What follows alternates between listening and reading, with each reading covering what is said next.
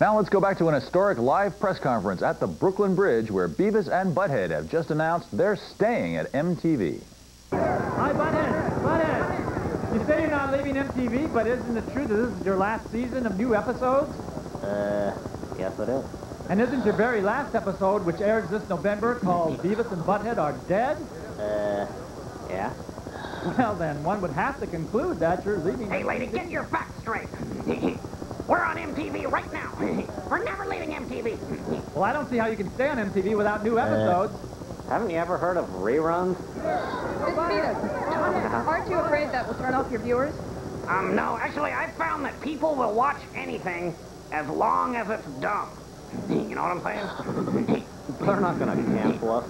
We're MTV's cash cow. We'll be back with more breaking news from Beavis and Butthead in a moment.